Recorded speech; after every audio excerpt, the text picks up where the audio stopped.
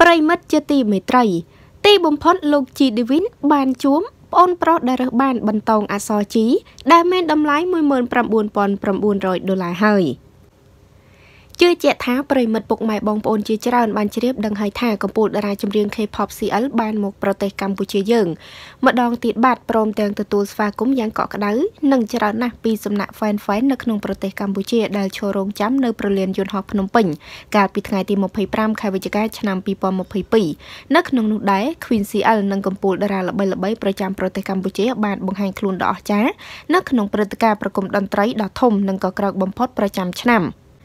នៅល្ងាចថ្ងៃទី26វិច្ឆិកា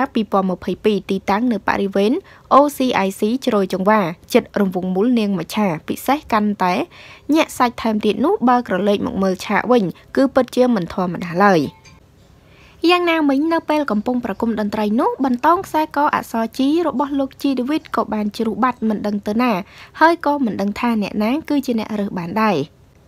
ក្នុងនោះបើយោងតាមការបញ្ជាក់របស់ហាងពេជ្រដ៏ល្បីមួយកន្លែងបានប្រាប់ឲ្យដឹងថាបន្តោងខ្សែកទាំងមូលដែលមានអក្សរ G David គឺមានតម្លៃរហូតដល់ទៅ19900ដុល្លារឯណោះពិតជាថ្លៃខ្លាំងណាស់ យ៉ាងណាមិញនាថ្ងៃទី1ខែធ្នូឆ្នាំ2022លោកជីដេវីតបានឡាយប្រាប់ឲ្យដឹងថាបន្តោងខ្សែកអក្សរជីនេះគឺរកឃើញវិញហើយអ្នកដែលរើសបានគឺជា fan របស់ខ្លួនថែមទៀតផង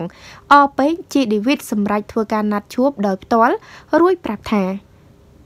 កន្លែងអសរជីជ្រុះនឹងមានហ្វេនគាត់រើសបានហើយគាត់ធ្វើការចុះឡើងភ្នំពេញឧត្តរមានជ័យហើយឥឡូវគាត់បានតាក់ទងមកเพจខ្ញុំហើយបើមិនមែនเพจខ្ញុំទេ ប្រពន្ធគាត់តាក់ទងទៅភេងអូតូម៉ាទិកគាត់ថាប្តីគាត់រើសបានអញ្ចឹងគាត់ចង់ឲ្យវិញ ហើយឥឡូវខ្ញុំឲ្យក្រុមការងារតាក់ទងគាត់ហើយខ្ញុំនឹងទៅជួបគាត់ដោយដែលបានសន្យាទីបំផុតជីដេវីតបានជួបបរិសម្នាក់នេះហើយដែលរើសបានបន្តោងខ្សែកអសរជីទប់ចិត្តមិនជាប់រឿងនេះជីដេវីតបានប្រាប់ថា The G is back ខ្ញុំតែងតែជឿជាក់លើទង្វើល្អថ្ងៃនេះប្អូនប្រុសជាអ្នករើសបានជី គាត់បានប្រគល់ឲ្យខ្ញុំវិញ ជាទឹកចិត្តល្អធនធានល្អដើរមួយជុំផែនដីទៅបានជួបបងប្អូនអាចហៅគាត់បានថា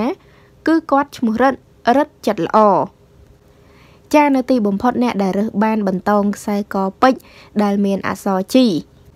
របស់លោកជីឌីវីតដែលជ្រុះបាត់ថ្ងៃមុននោះគឺយកមកឲ្យលោកជីឌីវីតវិញហើយ គឺពិតជាចិត្តល្អមែនតែនគឺគាត់មានឈ្មោះថារិទ្ធ គាត់គឺជាអ្នកឧត្តមមានជ័យទឹកចិត្តមួយនេះមិនមានអ្នកណាងាយនឹងធ្វើដូចឡើយដោយសារបន្តោងខ្សែកអក្សរជីនេះ មានតម្លៃមិនតិចនោះទេ គឺវាគឺជាពេជ្រតែគាត់បានប្រគល់ឲ្យម្ចាស់ដើមវិញ ធ្វើឲ្យគ្រប់គ្នាក៏សរសើរអំពីទឹកចិត្តគាត់ចាអរគុណច្រើនប្រិយមិត្តទាំងអស់គ្នាតេតងនឹងព័ត៌មាននេះដែរក៏សូមបញ្ចប់តែត្រឹមនេះសូមអរគុណសូមគោរពលា